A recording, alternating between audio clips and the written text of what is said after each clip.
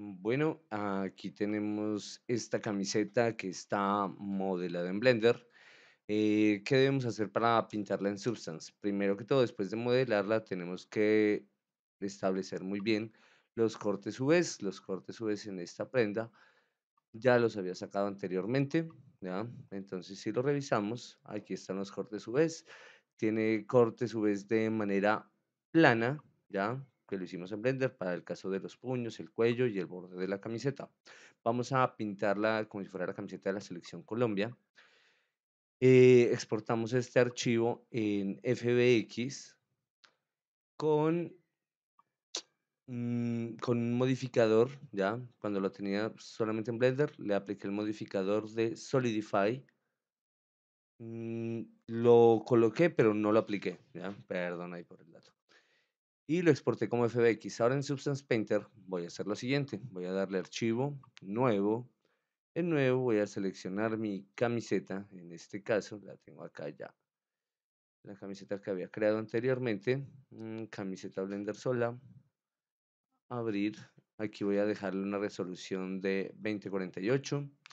Voy a trabajar con DirectX. Voy a preservar las UVs que tiene anteriormente. Eh, listo. Y aquí arriba voy a trabajarlo con PBR, Metallic Roughness. Le doy OK. Ah, espero que cargue. Cuando la camiseta carga, pues me muestra los dos paneles. El panel donde viene para realizar la navegación ¿ya? de mi elemento. Esto lo hago con Alt y la rueda del mouse.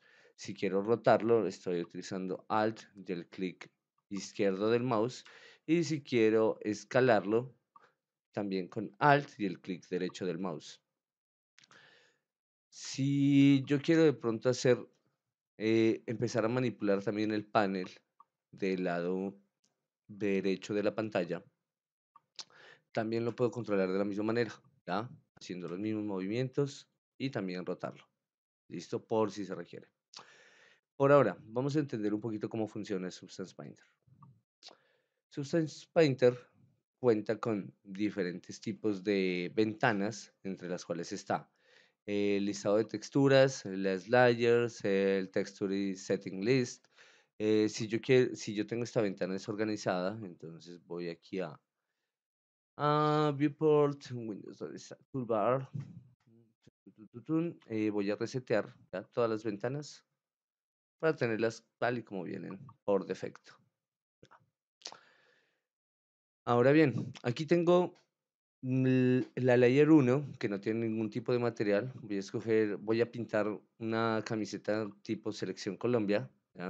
Entonces voy a utilizar un material tipo fábrica lo arrastro y lo jalo. Este material no me serviría porque se ve un poco como, como lana, a menos de que yo empiece a afectar el, el tiling, ¿ya? Entonces voy a hacerlo como que se viera más, más, más, más como si fuera tela, ¿ya? Igual puedo probar otro material tipo fábrica, ¿ya? De acuerdo pues a las necesidades. Por ejemplo, me gusta este mucho más para una camiseta de fútbol. Entonces, tengo el Fabric Baseball, que es el que acabé de poner, y tengo este de acá. Este de acá no lo necesito, en la parte superior voy a borrarlo, solamente me quedo con este. Si se dan cuenta, este tiene una especie de orientación, las líneas en la tela, para que sea más visible, vamos a verlo acá. Ah, tiene una orientación casi hasta hacia este lado, entonces yo puedo también empezar a manipular la rotación de esa textura. Vamos que la voy a dejar ahí.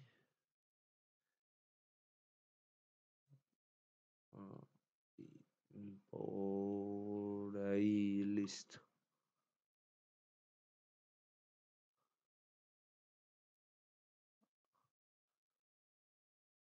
No quiero que se note tanto el, el corte que hay entre uno y otro. Ya. Ahora, esta tela, yo quiero tener el mismo material, pero con otro color. Entonces, primero que todo, aquí en Fabric, entro a las propiedades del material que están aquí abajo. properties, agrandamos esto un poco más arriba, y aquí vamos a encontrar el color. Entonces, el color, en este caso lo vamos a dejar amarillo, entonces escogen el amarillo que más se acomode a la necesidad del objeto. Vamos a dejarle los puños y el cuello de color rojo o hacer una combinación con azules. Para eso necesitamos duplicar este material. Lo voy a duplicar. ¿ah? Lo he duplicado, pero este va a tener una connotación diferente. El de abajo lo voy a poner como si fuera azul. Ah, perdón, aquí. O rojo, el rojo me gusta más la camiseta de la selección rojo. Listo. Ahora, ¿cómo procedo a que se note el rojo en los segmentos que yo haya establecido. Ahora bien, voy a aplicar aquí una máscara, una máscara en negro, ¿ya? ¿Qué es lo que hace la máscara en negro? Entonces, me mostró todo lo que está detrás del amarillo. Si yo quiero cambiar la máscara, la voy a cambiar a blanco, ¿ya? Pero voy a afectar la máscara, entonces cada que yo raye, voy a ver un material abajo del otro. ¿Por qué decidí duplicarlo? Para que la tela me quede ya de la misma porosidad sin afectar, porque si yo la cambio aquí, por ejemplo, la tela y le muevo el tiring, entonces va a ver muy diferente, se van a empezar a cruzar. Pues se pueden lograr combinaciones muy, muy chéveres, ¿ya? Por ejemplo, ahí las estoy combinando y están interfiriendo una con la otra y se ven bien, Por ahora no la voy a combinar, la voy a dejar ahí. Aunque para el cuello y eso yo creo que sí podremos combinarla, teniendo en cuenta que son materiales distintos. Ah, ahí, de pronto, ahí, listo. Yo puedo aquí pintar de manera... ¿Dónde está? ¿Dónde está? Puedo aquí pintar de manera tipo mirror, ¿ya? Donde yo establezco el pincel y procedo pues a pintar los diferentes materiales y elementos cuadremos esto primero. Acá. Ahí.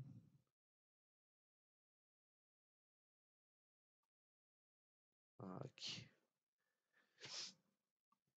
Ahora, con esta máscara activa, yo aquí tengo pincel, tengo un borrador, tengo proyección que lo vamos a usar más adelante. Ahora me interesa trabajar con el Polygon File que es el que me muestra como tal el wireframe del modelo 3D que realicé y este me sirve para pintar de manera mm, eh, exacta ya a través de las diferentes de los diferentes quads que realicé. Por ejemplo si yo necesito aquí voy a activarle el mirror y le digo que le voy a pintar por ejemplo, este segmento ¿ya? si yo lo selecciono no me va a pintar. En la parte superior le voy a bajar a cero, y él va a proceder, va a empezar a pintar cada que yo seleccione diferentes tipos de cuadros. Yo puedo pintar, sea aquí directamente o puedo pintar también desde el modelo de la parte de acá. Pero lo pinto a través de los cuadros para tener más control del pincel. Si yo quiero, pues puedo pintarlo así pero si se fijan el control no es el adecuado y hay un difuminado. Yo puedo controlar el, difuminado a través de Flow, eh, puedo modificar también el espaciado, el tamaño del pincel, pero pues va a ser un trabajo, si tengo una tableta pues es muy muy muy eficiente. En este caso lo voy a realizar con esta herramienta para que quede un poco más, más fluido. Entonces, cada que yo seleccione, eh, tener mucho cuidado a la hora de seleccionar ciertos cuadros porque se suelen seleccionar también los cuadros de la parte de atrás. Eh, ahí, si yo arrastro el clic por dentro, también se empiezan a seleccionar. Entonces, yo prefiero, por ejemplo, hacer las primeras líneas. Perdón, le di doble clic, se me disparó. ahí.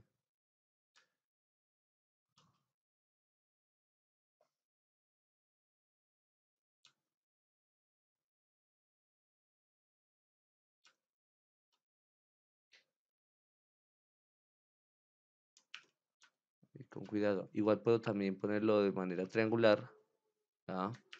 Y me divide esto, voy a tomar aquí el ejemplo, me divide un cuadro, un triángulo. ¿ya? La otra, puedo tomarlo así para pintar todo el objeto y este lo pinta por áreas. Pinta toda el área donde tenía el corte V. Ahí tenía el corte V anteriormente. ¿ya? Y he acabado más rápido de pintar. Si los cortes V están bien realizados, yo le realicé también un corte aquí.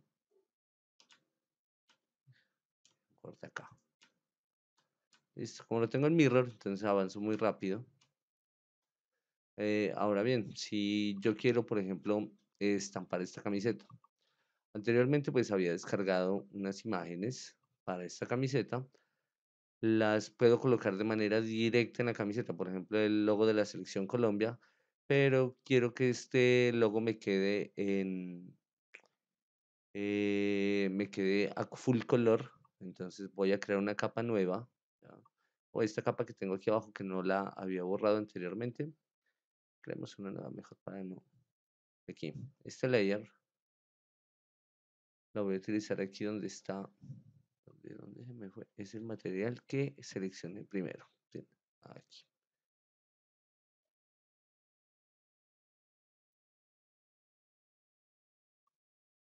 Eh, la capa nueva con el material base material base ahí. Y una nueva capa ahora voy a darle file le doy importar. En importar voy a buscar los elementos que necesito, pues ya los había descargado previamente. Entonces yo por aquí tengo el escudo de la selección Colombia full color, tengo esta bandera y por ahí estaba buscando el logo de Adidas. Voy a ver cómo me queda primero este. ¿ya? le doy a abrir. Aquí es muy importante tener en cuenta lo siguiente. Cuando yo coloque un objeto, lo voy a colocar en la carpeta donde lo necesito. En este caso en textura, porque en la parte de acá me muestran materiales, Smart Materials, me muestra máscaras, me muestra las texturas y yo necesito que esto me quede como una textura. Y además de eso, que solamente se guarde durante la sesión. En mi caso, solamente voy a usar el escudo para esta camiseta. Si es algo que yo siempre vaya a estar utilizando, por ejemplo, digamos que yo ah, eh, hago tatuajes siempre sobre los modelos y yo quiero tener un banco de tatuajes, entonces le doy que siempre esté en la librería. Ya, en este caso, solamente durante la sesión. Le doy a importar. Aquí me va a aparecer el escudo. Entonces le doy aquí en el botecito de pintura. ¿bien? Aparece de esta manera. Lo arrastro al base color. me queda toda la camiseta. Ven, la textura se ve muy bien. Eh, uno puede hacer diseños y a veces sacar cosas pues de esta forma y se van a ver pues muy las camisetas de ciclismo y demás. Entonces, de este lado, ¿ya? si no les aparece este recuadro que tengo aquí para manipular el tamaño, lo activo desde la parte superior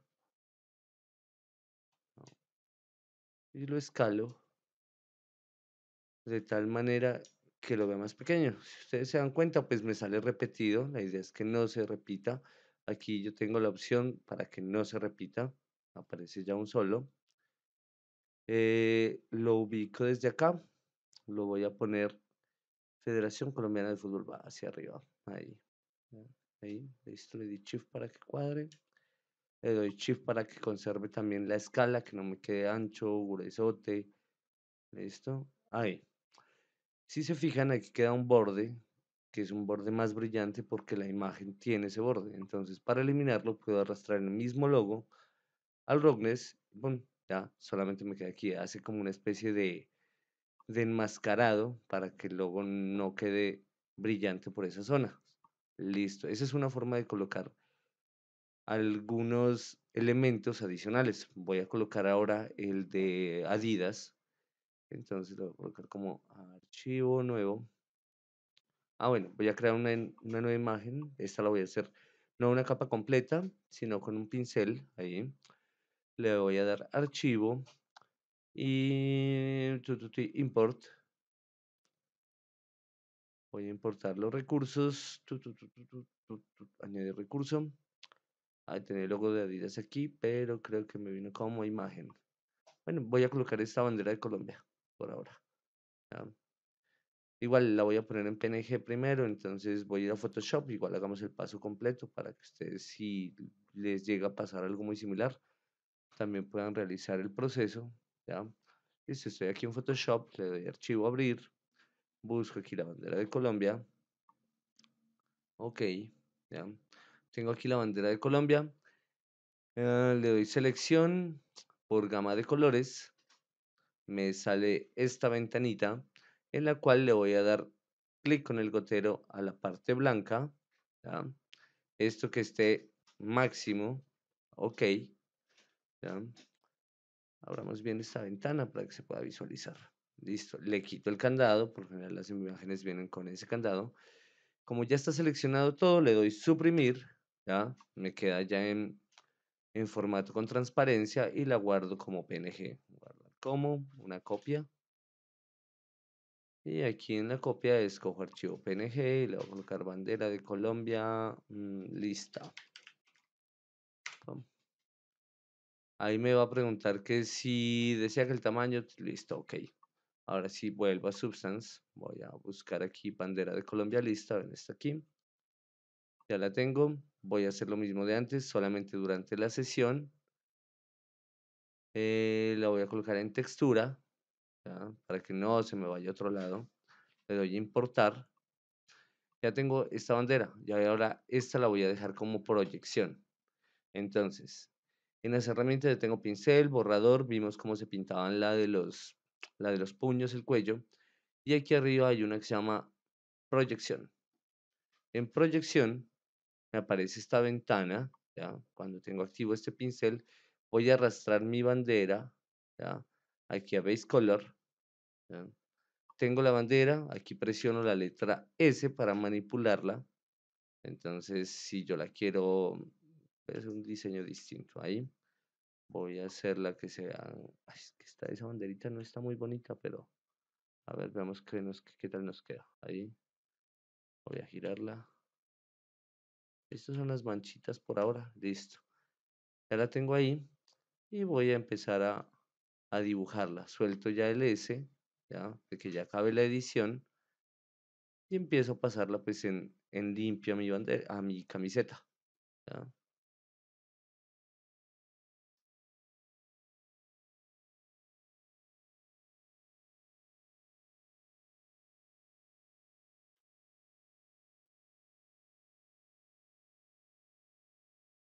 Listo. Igual, si yo quiero continuar de pronto con el, diseño de la figura o del elemento, entonces procedo a girarla, a buscarle bien dónde debe empatar exactamente este elemento y ahora con ese mover dónde quedaría el remate de la bandera. Pues es un poco complicado hacerlo así de esta manera. Eh, si lo dejaba desde acá, de pronto era más sencillo hacer que la bandera continúe. Hagámoslo desde acá. Eh, primero más pequeña. Listo. Y la bandera debería continuar. Si no estoy mal, hagámosle una rayita aquí. Para ver hasta dónde se pinta del otro lado de la camiseta. Listo. Ya sé que arranca hasta acá.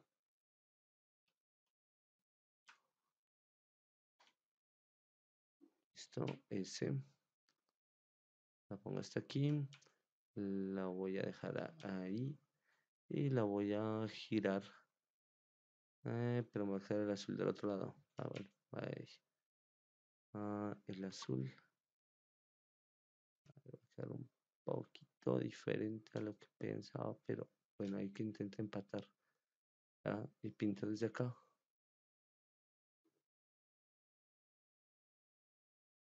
Si lo hubiera hecho con la imagen grande, grande, grande, me hubiera quedado pues, muy distinta, mucho más bonita, no me hubiera pasado lo que me acaba de pasar, que se me cortó más arriba de donde debería venir la tela, que me da más fácil es ponerla aquí.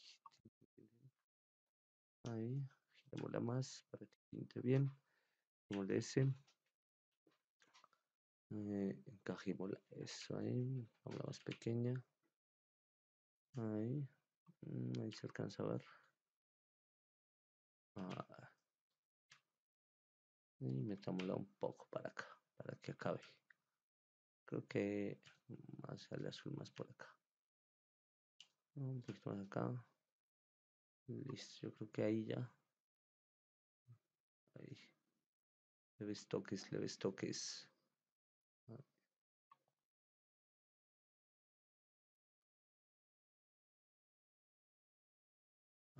Listo.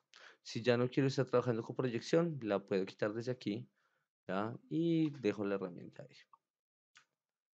Listo, hasta ahí ya tengo la proyección de la camiseta. Si quiero agregarle partes adicionales, partes como cuáles. Eh, digamos que quiero hacerle, mm, eh, voy a ver si, si los elementos que están aquí se nos adecuan para hacer un, un botoncito como tal. Buscamos si está el botón. Un botón, un botón, un brochecito por aquí para que nos quede más, más bonita. Si no nos toca crearlo. Bueno, voy a crearlo desde acá. Entonces, creo una nueva. Voy a colocar este en el height. al ponerlo aquí me hace como este contraste.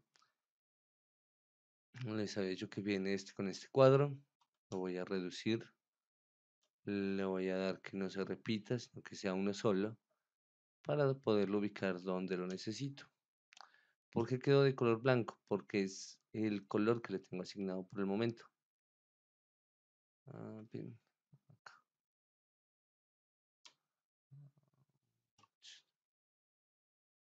Estos no tienen el recorte de PNG. A ver, volvemos si nos calza adecuadamente.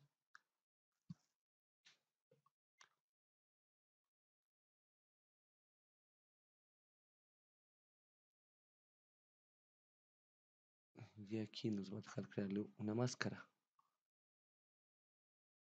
Ah, ahí. Más pequeño. Ya este le puedo crear una máscara. Aquí. Añadir una máscara. Y a esta máscara le voy a decir que yo necesito que no me pinte, por ejemplo, el borde totalmente. Lo quiero desaparecer un poco es muy pequeñito, entonces toca tener mucho, mucho cuidado. Eh, gris o negro, negro. Ahí. Ah. Ahorita le cambio el color y hemos creado pues un botoncito con los materiales que están acá. Listo, vuelvo aquí. Escogemos un azulito y lo voy a volver mucho más pequeño todavía que está muy tosco. La cosa es que como creé la máscara, entonces la máscara me va a coger por donde haya pintado anteriormente.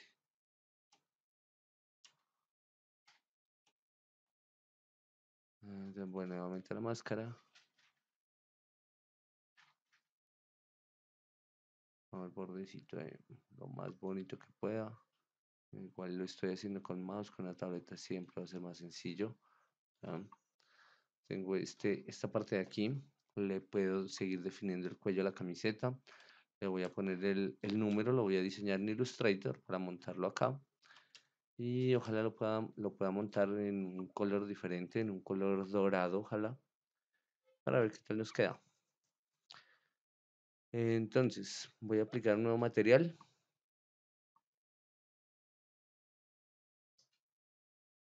un material de aquí, material completo, añadir, ya, le voy a activar aquí el metalness, metalness. No, hagámoslo de esta manera, más sencillo. Ahí, viene el del pincel. Y aquí sí voy a cambiar el material. Ah, aquí está con alfa, stencil base color.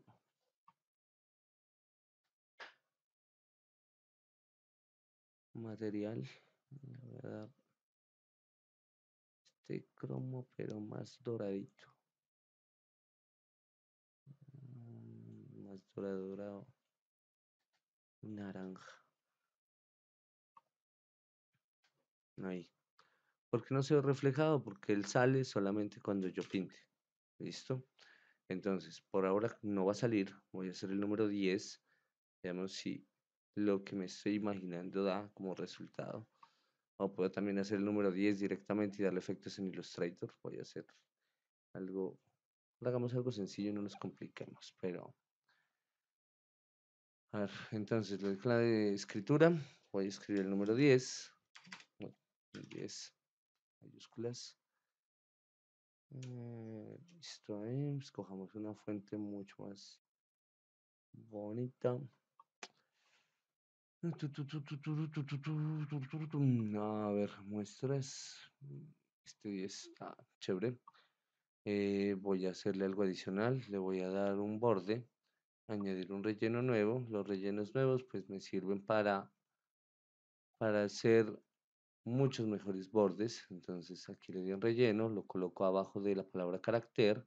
A este relleno le doy desplazamiento. le doy donde está trazado, desplazamiento. Voy a poner un desplazamiento no de 3, sino de 1.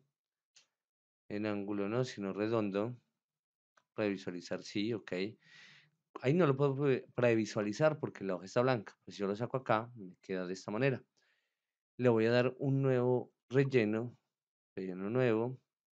Lo voy a poner abajo del otro relleno que tenía creado le voy a dar que sea un color negro nuevamente y le voy a dar otra vez un desplazamiento pero mucho más grande cuando le doy el, desplazamiento mucho más grande que redondeado para visualizar entonces me queda vean, negro blanco negro listo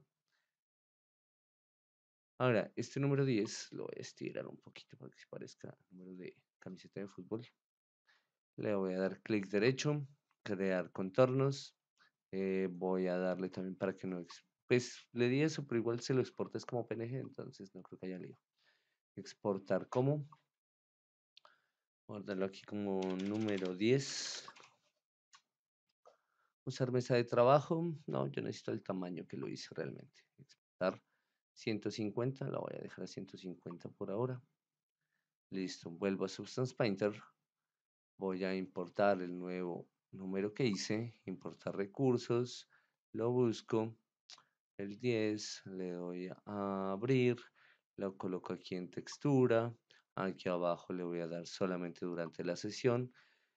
Siempre esto es muy importante, ¿por qué? Porque si llenan esto de materiales, eh, puede que se les bloquee el programa. Entonces siempre durante la sesión. Importar, ya tengo acá el número 10. Listo, entonces, ay, creo que borré el material, qué pena con ustedes eh, borré el material que había creado. Vamos a hacer eh, añadir aquí, vamos con este. Añadir, le voy a dar aquí en metallic. ¿no? Hacerlo más pequeño. Es lo mismo. Pues, la verdad esta herramienta es muy buena porque si uno le da ninguno, no solamente está trabajando sobre lo que necesita. Y es más fácil de controlar que el mismo stencil. Siempre es importante también tener muy en cuenta la su vez.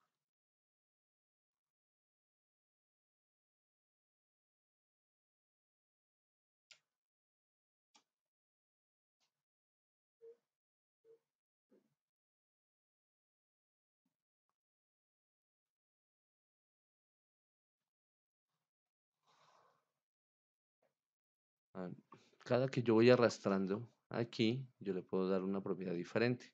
Por que quede por encima, por debajo, si lo dejo en cero,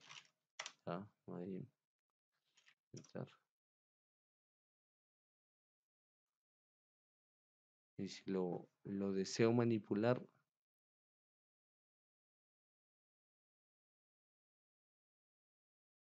más pequeño, más grande o que se repita. Eso sirve también para estampar la tela. Ya, así que quede la tela completamente estampada.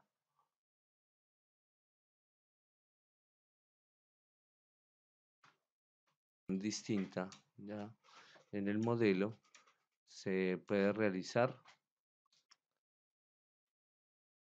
cuando ustedes tengan por ejemplo aquí una, una capa nueva le voy a quitar esto voy a quitar esto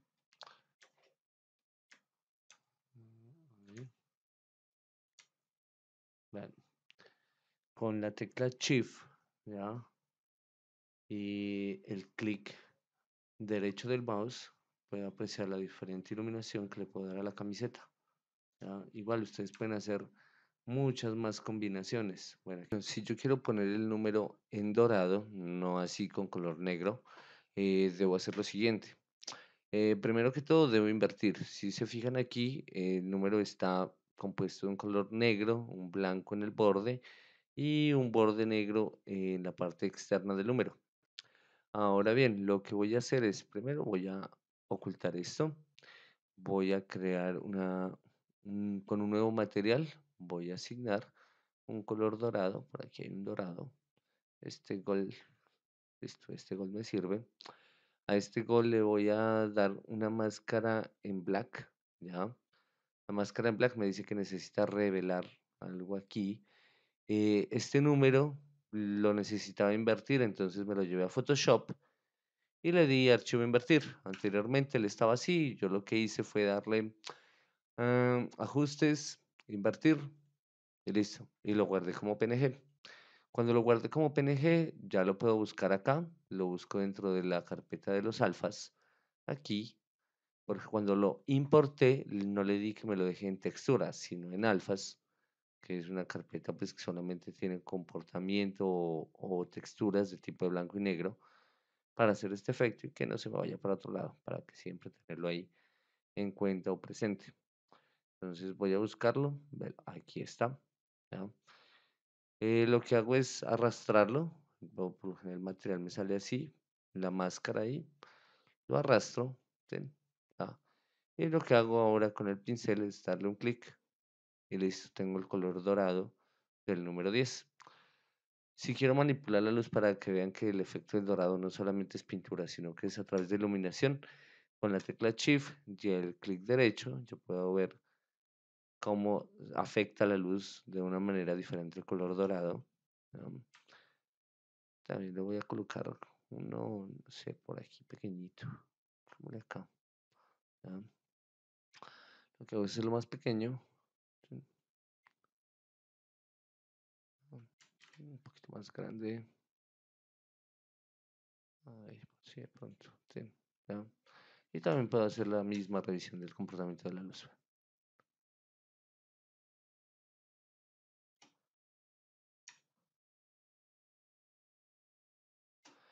Eh, si yo quiero que estas franjas, por ejemplo, tengan los bordecitos azules en medio, eh, puedo hacer lo siguiente.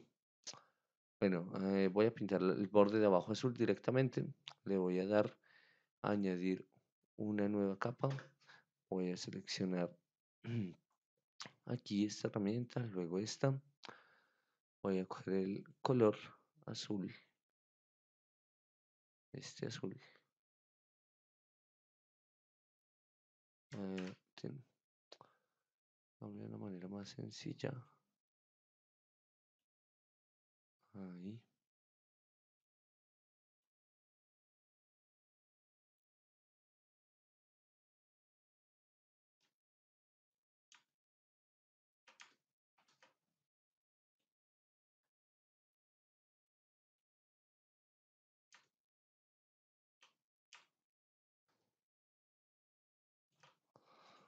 Eh, listo, y pinto el azul.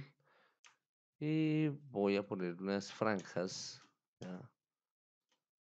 de, otro color, unas franjas rojas. Por, ejemplo, aquí una franja azul en el cuello y en las mangas. Voy a hacer las franjas acá en Illustrator también. Borro el archivo que tengo aquí. Eh, creo la franja. Le doy aquí, la creo ahí. Hagamos una delgadita y una más gruesa.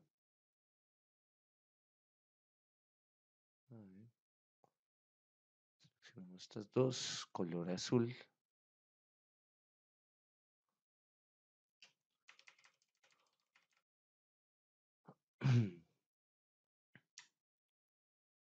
Ah, no sé si ahí pronto.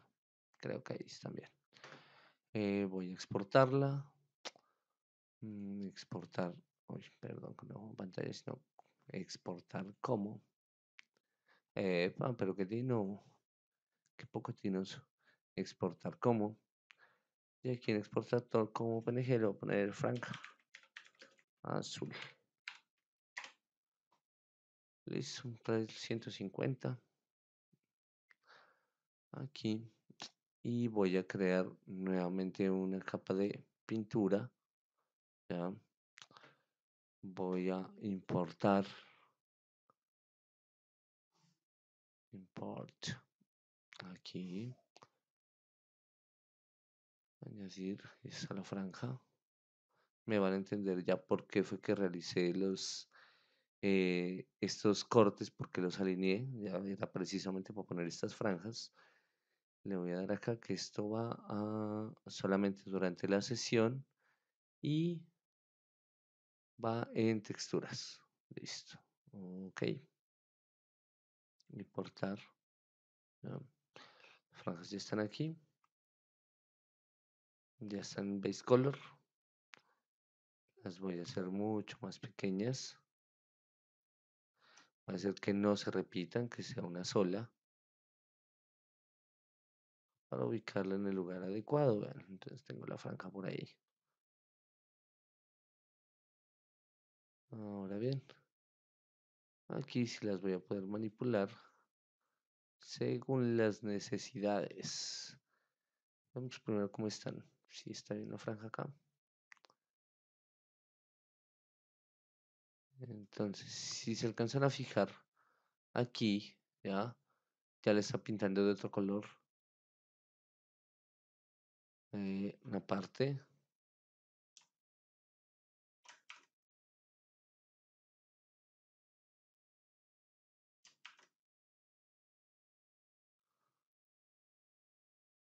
Van a poner en el cuello. Listo. Digamos que tengo el cuello, la, parte la, la parte de adelante. Antes que la parte de atrás, la parte de adelante. empiezo a ubicarme por aquí, por acá, por acá. Pues está.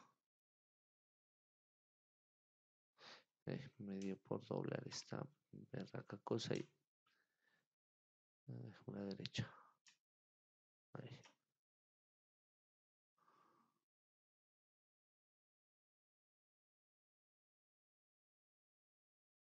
Ahí. Puede ser. Como este ya lo tengo listo acá, entonces lo que hago es clic derecho, le doy duplicar.